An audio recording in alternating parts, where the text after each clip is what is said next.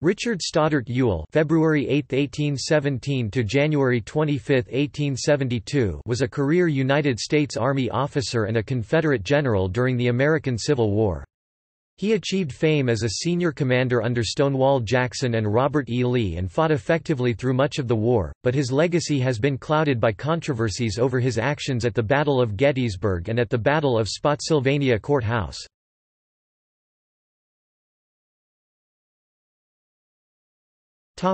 Early life and career Ewell was born in Georgetown, District of Columbia. He was raised in Prince William County, Virginia, from the age of three, at an estate near Manassas known as Stony Lonesome. He was the third son of Dr. Thomas and Elizabeth Stoddert Ewell, the grandson of Benjamin Stoddert, the first U.S. Secretary of the Navy, the grandson of Revolutionary War Colonel Jesse Ewell, and the brother of Benjamin Stoddert Ewell. He graduated from the United States Military Academy in 1840, 13th in his class of 42 cadets. He was known to his friends as Old Bald Head or Baldy. He was commissioned a second lieutenant in the 1st U.S. Dragoons and was promoted to first lieutenant in 1845. From 1843 to 1845 he served with Philip St. George Cooke and Stephen Watts Kearny on escort duty along the Santa Fe and Oregon trails. In the Mexican–American War, serving under Winfield Scott, he was recognized and promoted to captain for his courage at Contreras and Churubusco. At Contreras, he conducted a nighttime reconnaissance with engineer Captain Robert E. Lee, his future commander. Ewell served in the New Mexico Territory for some time, exploring the newly acquired Gadsden Purchase with Colonel Benjamin Bonneville. He was wounded in a skirmish with Apaches under Cochise in 1859. In 1860, while in command of Fort Buchanan, Arizona, illness compelled him to leave the West for Virginia to recuperate. He described his condition as very ill with vertigo, nausea, etc., and now am excessively debilitated, having occasional attacks of the ague. Illnesses and injuries would cause difficulties for him throughout the upcoming Civil War.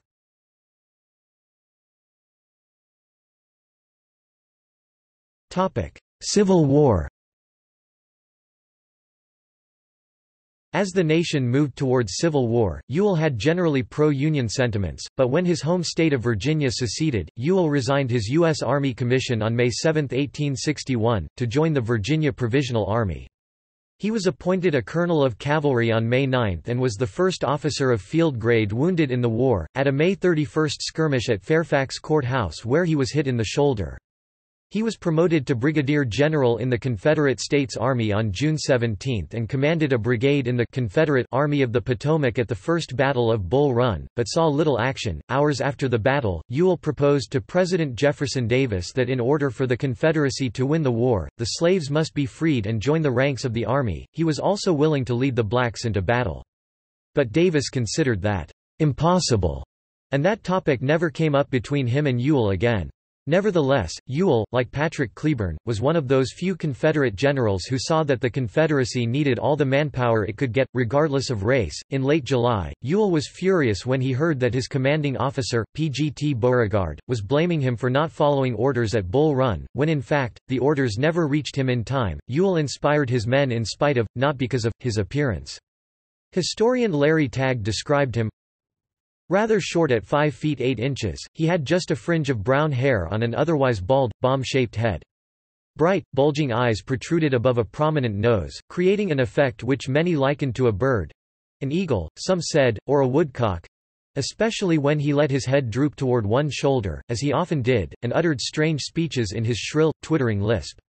He had a habit of muttering odd remarks in the middle of normal conversation, such as, now why do you suppose President Davis made me a major general anyway? He could be spectacularly, blisteringly profane. He was so nervous and fidgety he could not sleep in a normal position, and spent nights curled around a camp stool. He had convinced himself that he had some mysterious internal disease, and so subsisted almost entirely on frumenty, a dish of hulled wheat boiled in milk and sweetened with sugar. A compound of anomalies, was how one friend summed him up. He was the reigning eccentric of the Army of Northern Virginia, and his men, who knew at first hand his bravery and generosity of spirit, loved him all the more for it.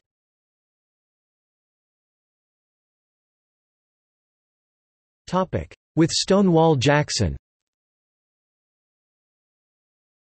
On January 24, 1862, Ewell was promoted to Major General.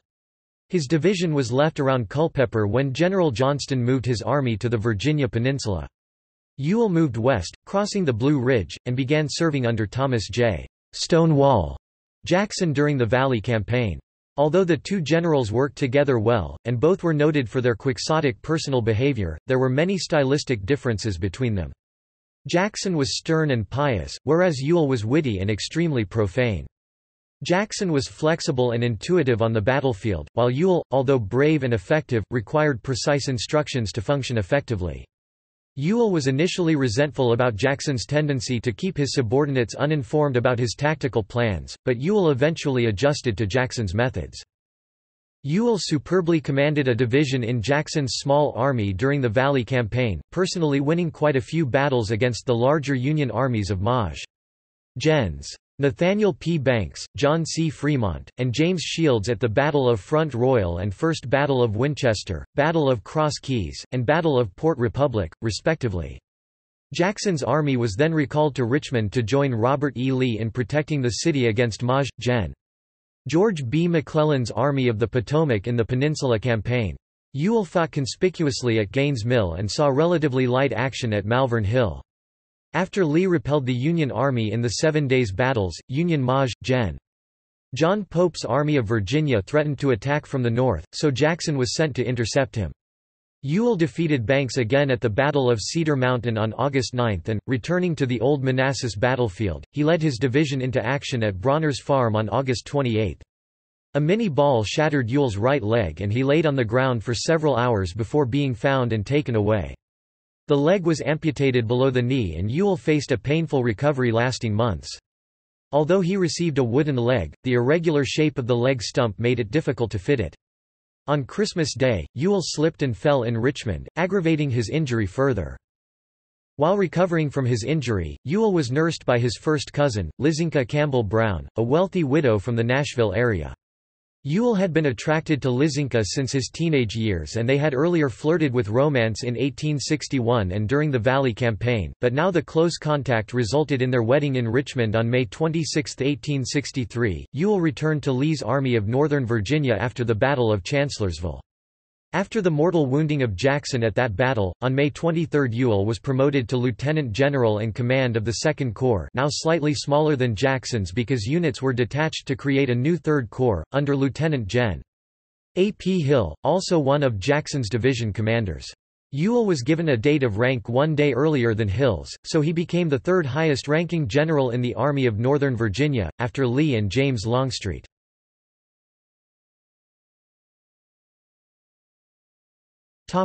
Gettysburg and controversy Ewell continued to have difficulty walking and when not mounted on horseback needed crutches to get around. In the opening days of the Gettysburg Campaign, at the Second Battle of Winchester, Ewell performed superbly, capturing the Union garrison of 4,000 men and 23 cannons. He escaped serious injury there when he was hit in the chest with a spent bullet the second such incident in his career, after Gaines' Mill.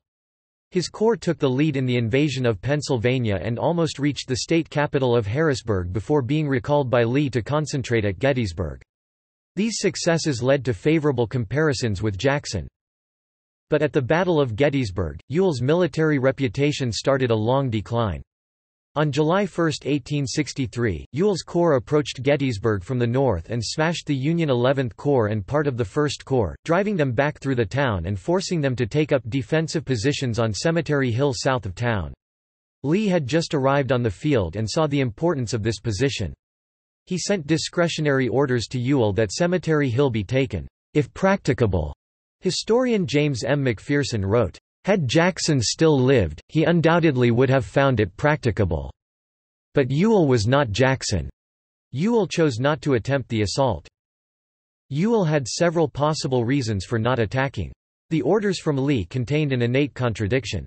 He was to carry the hill occupied by the enemy, if he found it practicable, but to avoid a general engagement until the arrival of the other divisions of the army. Lee also refused to provide assistance that Ewell requested from the Corps of A.P. Hill. Ewell's men were fatigued from their lengthy marching and strenuous battle in the hot July afternoon and it would be difficult to reassemble them into battle formation and assault the hill through the narrow corridors afforded by the streets of Gettysburg. The fresh division under Maj.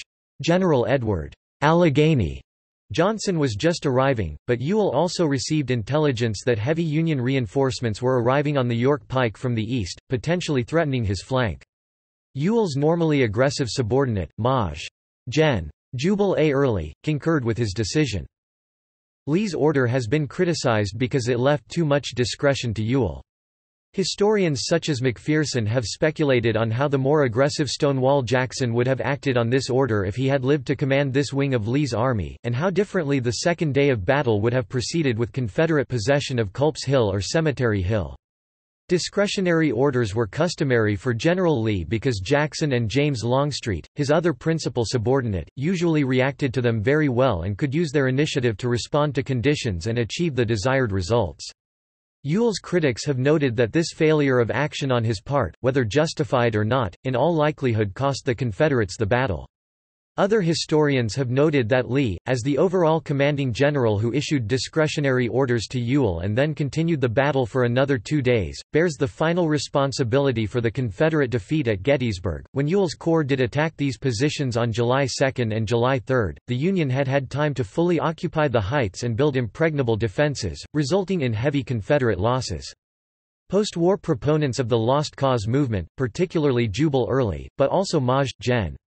Isaac R. Trimble, who had been assigned to Ewell's staff during the battle, criticized him bitterly in attempts to deflect any blame for the loss of the battle on Robert E.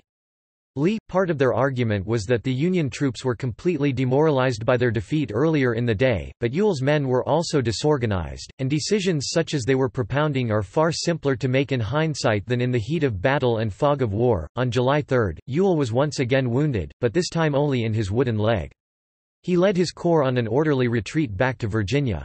By late November, Ewell took a leave of absence due to fever and continued problems with his leg. Within a month, he returned to command but continued to struggle with his health and mobility. In January 1864, he was bruised in a fall from his horse.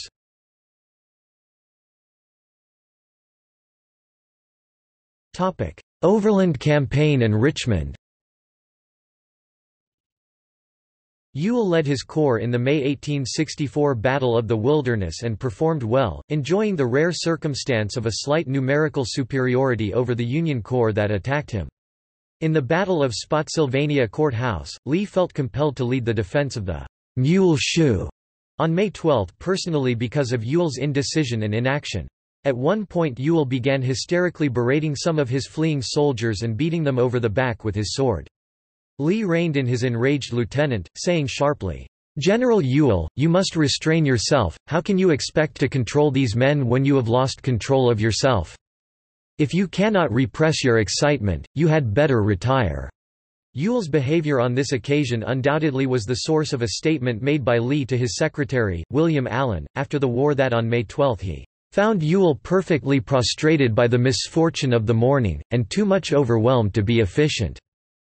In the final combat at Spotsylvania, on May 19, 1864, Ewell ordered an attack on the Union left flank at the Harris Farm, which had little effect beyond delaying Grant for a day, at the cost of 900 casualties, about one-sixth of his remaining force. Lee felt that Ewell was not in any shape for field command and decided to reassign him to the Richmond defenses. In April 1865, as Ewell and his troops were retreating a great many fires in Richmond were started, although it is unclear by whose orders the fires were started. Ewell blamed the plundering mobs of civilians for burning a tobacco warehouse, which was a significant source of the fire, but Nelson Lankford, author of Richmond Burning, wrote that, "...Ewell convinced few people that the Great Fire had nothing to do with his men or their deliberate demolition of the warehouses and bridges through military orders passed down the chain of command." These fires created the Great Conflagration of Richmond, which left a third of the city destroyed, including all of the business district. Ewell and his troops were then surrounded and captured at Sailor's Creek. This was a few days before Lee's surrender at Appomattox Court House. He was held as a prisoner of war at Fort Warren in Boston Harbor until July 1865.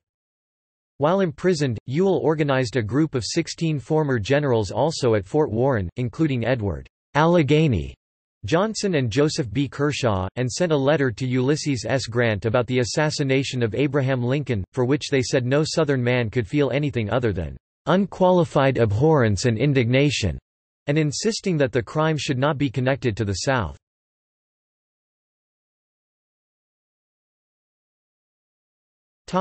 Postbellum life After his parole, Ewell retired to work as a gentleman farmer on his wife's farm near Spring Hill, Tennessee, which he helped to become profitable, and also leased a successful cotton plantation in Mississippi. His leg stump had largely healed by the end of the war and no longer seriously bothered him, but he continued to suffer from neuralgia and other ailments. He doted on Lizinka's children and grandchildren. He was president of the Columbia Female Academy's Board of Trustees, a communicant at St. Peter's Episcopal Church in Columbia, and president of the Maury County Agricultural Society. He and his wife died of pneumonia within three days of each other. They are buried in Old City Cemetery in Nashville, Tennessee. He is the author of The Making of a Soldier, published posthumously in 1935.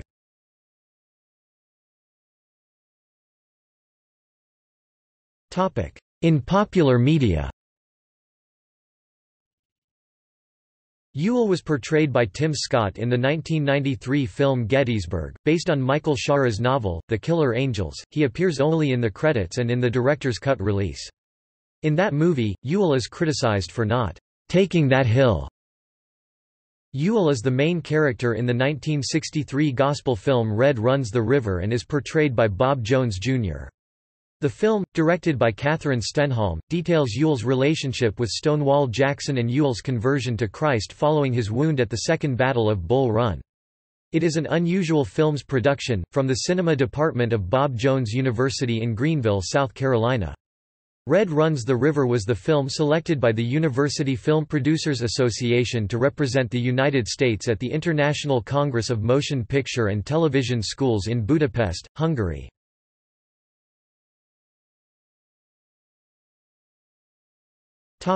See also.